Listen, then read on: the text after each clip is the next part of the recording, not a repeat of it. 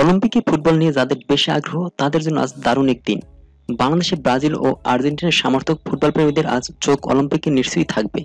তবে এর মধ্যে ব্রাজিলের সমর্থকরা যতটুকু ফুরফুরি মেজাজে ম্যাচ দেখতে পারবেন, আর্জেন্টিনার সমর্থকদের ক্ষেত্রে তা বলা হচ্ছে না।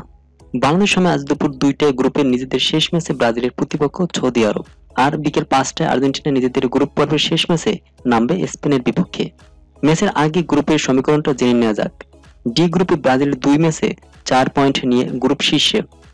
পয়েন্ট তালিকায় দুই নম্বরে থাকা কোস্ট পয়েন্ট চার, তিনে জার্মানি, তাদের পয়েন্ট তিন। গ্রুপের সবার নিচে থাকা সৌদি আরব এখন পর্যন্ত কোনো পয়েন্ট পায়নি। সি গ্রুপ আর্জেন্টিনার সঙ্গে হিসেবে স্পেনের পাশাপাশি থাকছে অস্ট্রেলিয়া ও মিশর। দুই ম্যাচ শেষে স্পেন চার পয়েন্ট নিয়ে তালিকার সবার উপরে। দুই থাকা অস্ট্রেলিয়া ও তিনে থাকা আর্জেন্টিনার পয়েন্ট সমান তিন করে। গোল ব্যবধান এগিয়ে অস্ট্রেলিয়া, মিশর এক পয়েন্ট নিয়ে গ্রুপের চতুর্থ। ব্রাজিলের গ্রুপ পর্ব থেকে কোয়ার্টার ফাইনাল ওঠা নিয়ে কোনো সংখ্যা নেই বললেই চলে। ড্র করলে কোয়ার্টার ফাইনাল নিশ্চিত। হেরে গেলে গোল ব্যবধান হিসেবে শেষ আটে যাওয়ার সুযোগ থাক।